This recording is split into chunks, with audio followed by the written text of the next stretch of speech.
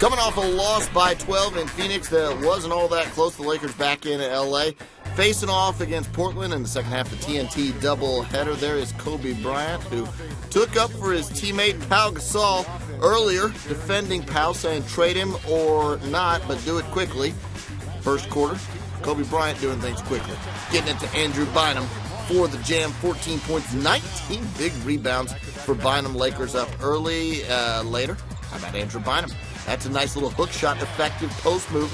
And the Lakers up 18 to 7 at that point. The Lakers in control. Kobe Bryant spinning, and boy, that's just a fantastic move from Kobe, who was 13 of 26 from the field. The Lakers up 29 to 7. It's the second quarter, and it's 32 7. Steve Blake made a three there. The Portland Trailblazers scored just seven in the first quarter. That's their lowest scoring quarter in franchise history. Finally, Nicolas Batum there with 8.52 left in the second quarter ends a 21 0 Lakers run, but the Lakers weren't finished in this game.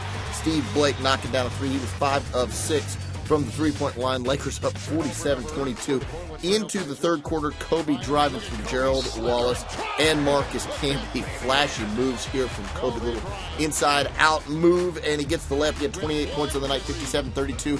At that point, Jamal Crawford with the shot fake and pass to LaMarcus Aldridge. For the jumper, Aldridge 18 points and 8 rebounds, and the Lakers lead down to 17. And Crawford on the drive. Outside, the Blazers work it over to Nicolas Batum for the three. And the Blazers, well, they had their best third quarter of the season with 36 points. Into the fourth quarter we go. Pau Gasol on the alley oop throw down. Gasol, 16 points and 12 rebounds, a double double. Then Kobe fading away, 88 74. Lakers in front by 14.